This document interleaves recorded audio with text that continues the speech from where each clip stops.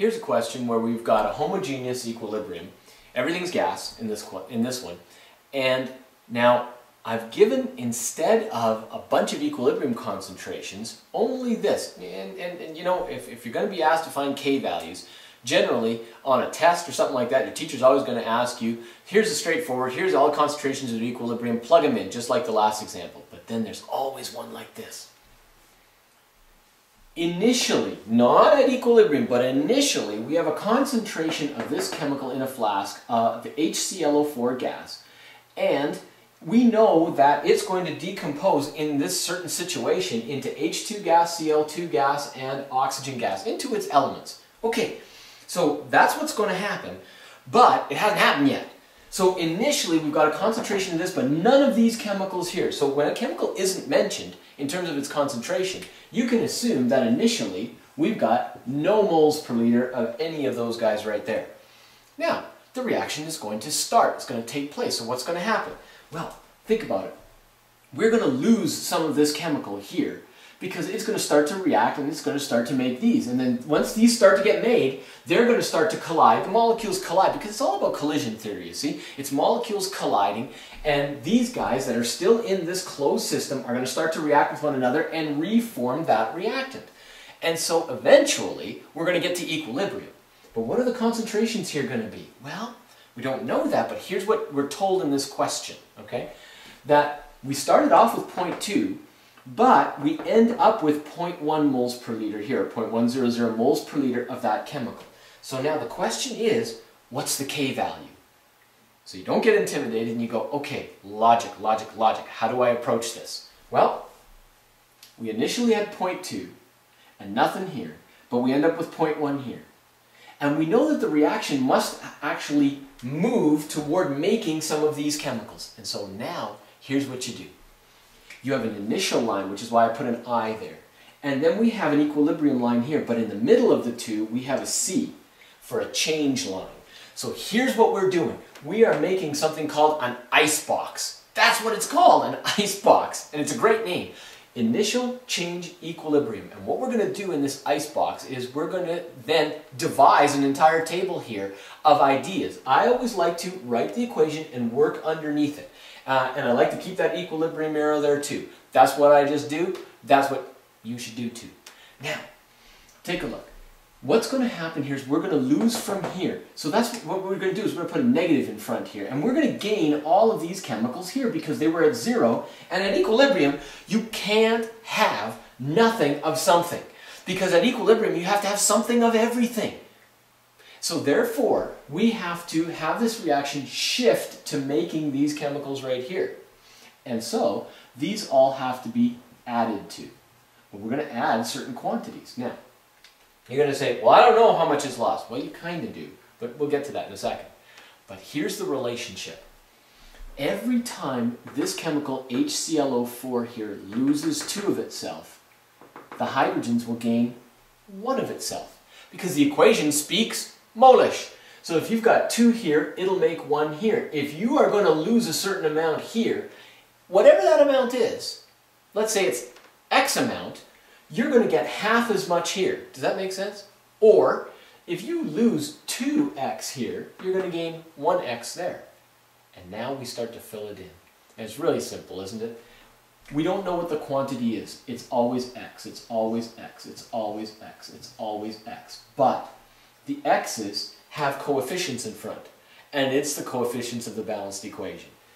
You're going to lose 2x here, and every time you lose 2x here, you're going to gain, well, just 1x here. So you can put a 1 in front, but I wouldn't, just put plus x. That's going to be plus x. But every time you lose 2 here, you're going to make how much here?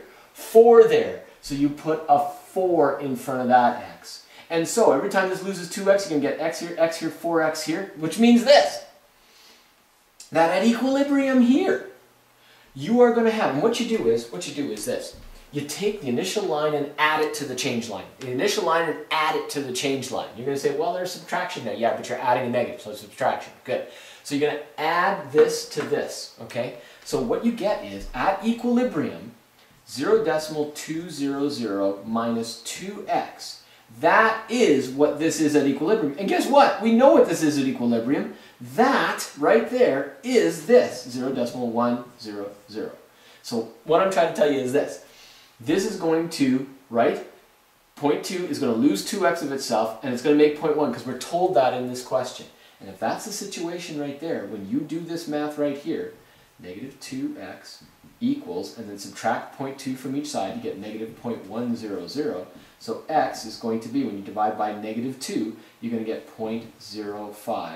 And let's say, let's just keep the significant digits at 3. x is 0.0500.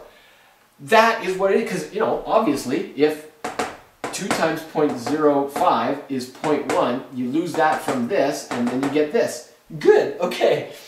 That means then that if we know what the concentration here is at equilibrium, which we do, we now know what x is. And so therefore, guess what we know? We know that this is 0.0500, we know that this x is 0.0500, and we know that this is 4 times 0 decimal 0500. Now we haven't answered the question yet, because what we got to do is, we have to plug all those numbers into the equilibrium expression. Why? Because we're looking for the K value. That's the entire question here. What's the K value? So, there's the expression for this reaction. The concentration of the H2 times the Cl2 times the O2 to the fourth power, right?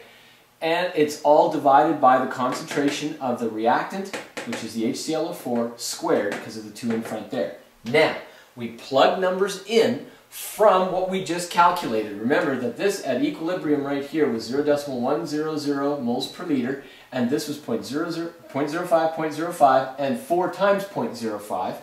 Look what I did. Here, that times that, because that's 0.05 times 0.05, that's squared, right? That's just those two, that's that times that right there. I'm just kind of, look, I'm treating you like you understand what's going on. Now, and then we're going to take this concentration here, which is 4 times 0.05, which is 0.2. That number is 0.2, right? To the fourth power, because it says to the fourth. Put to the fourth. And then, you say, but it's already 4 times that. Yeah, it's 4 times that number, which is x, and then to the fourth power. Put it in right. Like that. And then, that was 0.1 at equilibrium here, 0.1 moles per liter squared, right there. When you do all of that math right there, to three significant digits, you're going to get, because you started with three significant digits. You got three significant digits there, you're, you're finding the k value, keep your three sig digs. You're going to get 4.00 times 10 to the negative 4. Now, by the way, nor did I mention in the last example, but I mentioned here, we just calculated the k value, and it's moles per liter times moles per liter times moles per liter to the fourth divided by moles per liter squared. What's the unit of k? You know, some people get hung up on that and they want you to give a unit. You don't have to, because no scientist worries about that. A K value is going to be, in the end, something that we just don't care about putting a unit in for. Really. Because it's just kind of goofy to keep track of it. So the thing is, a K value, we just know that it arrived from, say, in this instance, moles per liter, but K values can come from other places like pressure equilibria too. We'll talk about that right now.